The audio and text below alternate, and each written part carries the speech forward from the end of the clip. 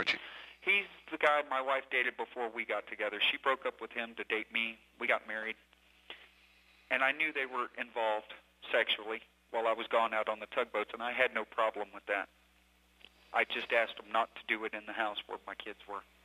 And how did he come to the house? Well, I had called him several times, but I didn't call him over there to lure him over there to shoot him.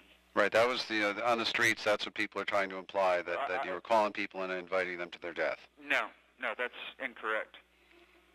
Um, I called him over there. I wanted to ask him some questions about him having sex with my wife in the house, and I had no intentions of shooting him at this time.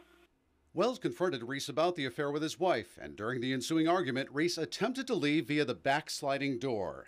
He took his bag and uh, went back to the sliding glass door like he was going to leave, and I said, "Dude," I said, "you need to answer this now." And I kind of kicked the sliding glass door back shut. So he reached down into his bag, and as he started to lift up, he had something black in his hand.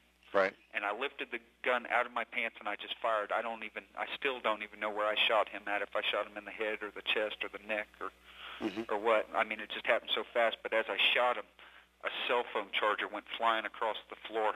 The fifth and final victim, 20 year old neighbor James Young.